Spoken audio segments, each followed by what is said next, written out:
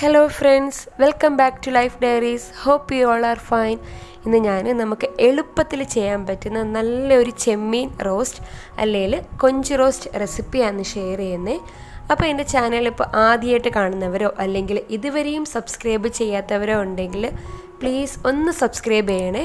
തൊട്ടടുത്തുള്ള ബെല്ലൈക്കൺ കൂടി ക്ലിക്ക് ചെയ്യുക. അതിൽ ഓൾ എന്നുള്ള ഓപ്ഷൻ വേണം ടൈപ്പ് ചെയ്യാനായിട്ട്. അപ്പോൾ ഞാൻ വീഡിയോസ് അപ്ലോഡ് ചെയ്യുമ്പോൾ തന്നെ നിങ്ങൾക്ക് നോട്ടിഫിക്കേഷൻസ് കിട്ടും. ഇനി നമുക്ക് ചെമ്മീൻ റോസ്റ്റിന്റെ ഇൻഗ്രീഡിയൻസും പ്രിപ്പറേഷൻസൊക്കെ ഒന്ന് നോക്കാം. ഞാൻ കുറച്ച് ചെമ്മീൻ എടുത്തിട്ടുണ്ട്. ഇനി നമുക്കിതൊന്ന് നല്ല പോലെ ക്ലീൻ ചെയ്തെടുക്കണം.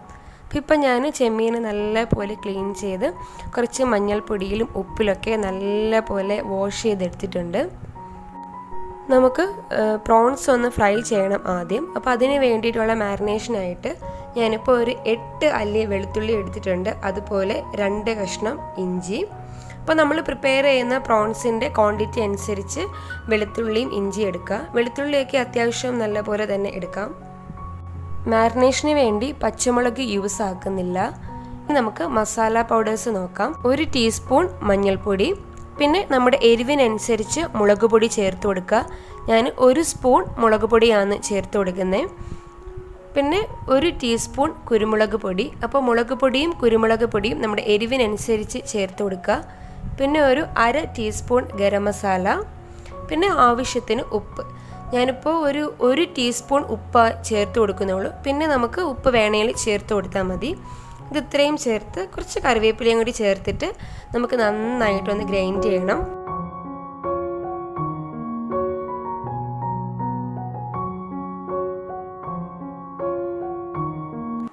നല്ലപോലെ ഒന്ന് ഗ്രൈൻഡ് ചെയ്തതിന് ശേഷം നമുക്ക് ഒരു സ്പൂൺ വെളിച്ചെണ്ണ കൂടി ഒഴിച്ചു കൊടുക്കാം. അപ്പോൾ വെളിച്ചെണ്ണ തന്നെ എടുക്കുന്നതായിരിക്കും നല്ലത്. എന്നിട്ട് അത് ജസ്റ്റ് ഒന്ന് മിക്സ് ചെയ്തിട്ട് നമുക്ക് ഒന്നുകൂടി ഒന്ന് ഗ്രൈൻഡ് ചെയ്തെടുക്കാം.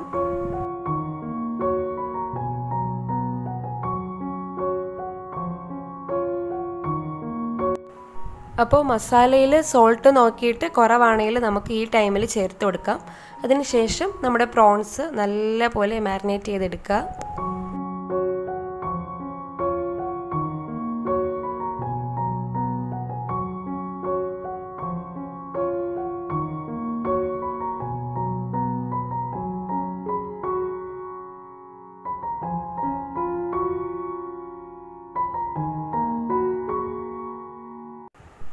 അപ്പോൾ മസാല നല്ല പോലെ ചെമ്മീനിലൊക്കെ ഒന്ന് മാരിനേറ്റ് ചെയ്തിട്ട് നമുക്ക് ഒരു പതിനഞ്ച് മിനിറ്റ് മിനിമം ഒരു പതിനഞ്ച് മിനിറ്റ് നമുക്ക് ഫ്രിഡ്ജിലൊന്ന് വെക്കണം. അപ്പോൾ നമ്മൾ ഒന്നോ രണ്ടോ മണിക്കൂറൊക്കെ വെക്കുന്നത് നല്ലതാണ്. അപ്പോൾ ഉച്ചയ്ക്ക് പ്രിപ്പയർ ചെയ്യുമ്പോൾ രാവിലെ ഇതുപോലെ മാരിനേറ്റ് ചെയ്ത് ഫ്രിഡ്ജിൽ വെച്ചിരുന്നാൽ മതി. പ്രിപ്പയർ ചെയ്യുന്ന ടൈമിൽ നമ്മളെടുത്ത് ഫ്രൈ ചെയ്താൽ മതി. അപ്പോൾ കുറച്ചും കൂടി മസാലയൊക്കെ പിടിച്ച് നല്ല ടേസ്റ്റ് ആയിരിക്കും.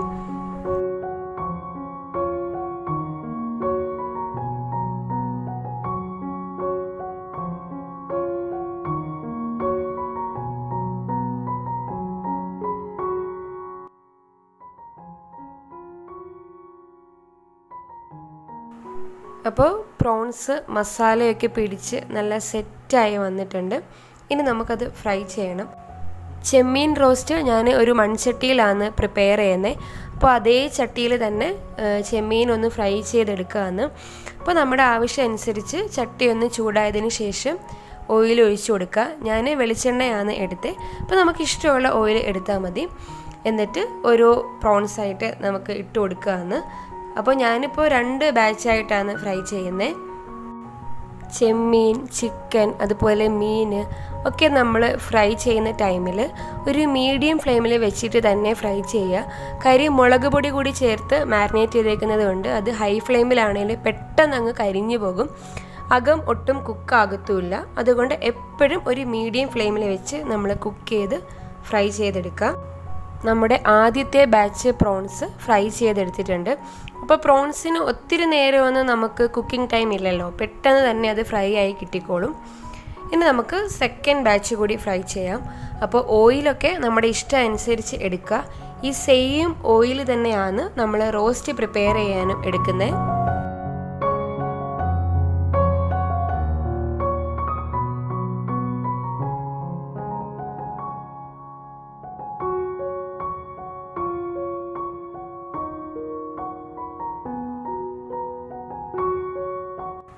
ചെമ്മീനെല്ലാം ഇപ്പോൾ ഫ്രൈ ചെയ്തെടുത്തിട്ടുണ്ട്. ഇനി നമുക്ക് റോസ്റ്റ് പ്രിപ്പയർ ചെയ്യണം. അപ്പോൾ അതിന് വേണ്ടി ഇതൊക്കെയാണ് ഇൻഗ്രീഡിയൻസ്. അപ്പോൾ ഞാനിപ്പോൾ രണ്ട് സവാള എടുത്തിട്ടുണ്ട്. അത് ഇതുപോലെ നീളത്തിൽ കട്ട് ചെയ്തെടുക്കുക. പിന്നെ അത്യാവശ്യം വലിയൊരു തക്കാളി എടുത്തിട്ടുണ്ട്. അതും കട്ട് ചെയ്തെടുത്തേക്കാന്ന്. പിന്നെ ഞാൻ കുറച്ച് അധികം ഇഞ്ചിയും വെളുത്തുള്ളിയും ചതച്ചെടുത്തിട്ടുണ്ട്. പിന്നെ ഒരു പച്ചമുളക് എടുത്തിട്ടുണ്ട്. പിന്നെ കുറച്ച് കറിവേപ്പില. അപ്പോൾ കറിവേപ്പില നമ്മുടെ ഇഷ്ടം അനുസരിച്ച് എടുക്കുക അപ്പോൾ ഞാനിപ്പോൾ ഒരു പത്ത് അല്ലി വെളുത്തുള്ളി എടുത്തിട്ടുണ്ട്. അതുപോലെ ഒരു രണ്ട് കഷ്ണം ഇഞ്ചിയാണ് എടുത്തിട്ടുള്ളത് അപ്പോൾ ഓയിൽ ഒന്ന് ചൂടായി വന്നിട്ട് ഇഞ്ചി വെളുത്തുള്ളി പച്ചമുളക് ചേർത്ത് കൊടുക്കുകയാണ് അപ്പോൾ നമ്മൾ കൊഞ്ച് ഫ്രൈ ചെയ്ത് അതേ ഓയിൽ തന്നെയാണ് റോസ്റ്റും പ്രിപ്പയർ ചെയ്യുന്നത് അപ്പോൾ അതൊന്ന് മൊരിഞ്ഞ് വന്നിട്ട് കറിവേപ്പില കൂടി ചേർത്ത് കൊടുക്കാം. അതിനുശേഷം നമ്മൾ നീളത്തിൽ കട്ട് ചെയ്ത് വെച്ചിരുന്ന സവാള ചേർത്ത് കൊടുക്കുകയാണ്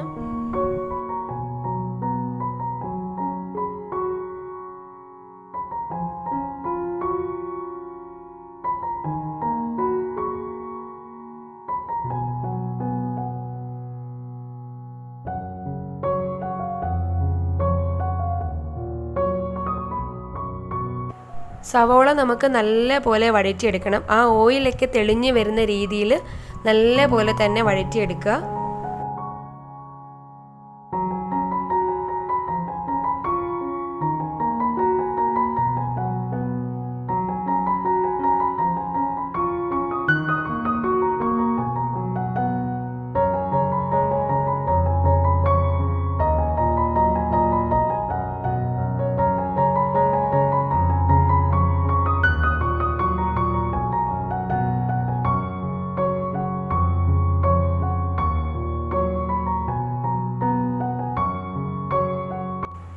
ഇതുപോലെ ഓയിലൊന്ന് തെളിഞ്ഞ് വരുന്നത് വരെ നമ്മൾ നല്ല പോലെ വഴറ്റി കൊടുക്കാം.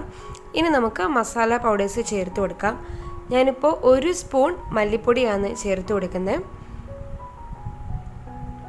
രണ്ട് സ്പൂൺ മുളക് പൊടി നോർമൽ മുളക് പൊടിയാണ് ചേർത്ത് കൊടുക്കുന്നത് പിന്നെ ഒരു അര ടീസ്പൂൺ കുരുമുളക് പൊടി. ഇത് ഇത്രയും ചേർത്തിട്ട് നന്നായിട്ട് ഒരു ലോ ഫ്ലെയിമിൽ വെച്ച് നമ്മൾ ഒന്ന് വഴറ്റി കൊടുക്കുക ആ മസാല പൗഡേഴ്സിന്റെയൊക്കെ ആ ഒരു പച്ച മണം മാറുന്നത് വരെ ലോ ഫ്ലെയിമിൽ വെച്ച് നന്നായിട്ടൊന്ന് വഴറ്റി കൊടുക്കുക. അതിനുശേഷം നമുക്ക് അരിഞ്ഞു വെച്ചിരുന്ന തക്കാളി കൂടി ചേർത്ത് കൊടുക്കാം. അപ്പോൾ തക്കാളി കൂടി ചേർത്തിട്ട് ഒന്ന് നന്നായിട്ട് മിക്സ് ചെയ്യുക. അപ്പോൾ തക്കാളി ഇനി നല്ലപോലെ കുക്കായി ഒന്ന് ഉടഞ്ഞു വരണം. അതുവരെ നമ്മൾ നന്നായിട്ട് ഒന്ന് വഴറ്റി കൊടുക്കുക.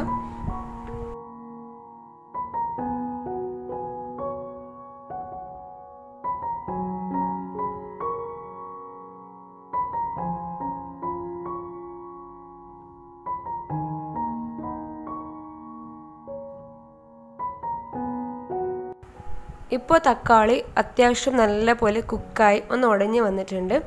ഇനി നമുക്കിതിൽ ഒരു അര കപ്പ് വെള്ളം കൂടി ഒഴിച്ചു കൊടുക്കാം.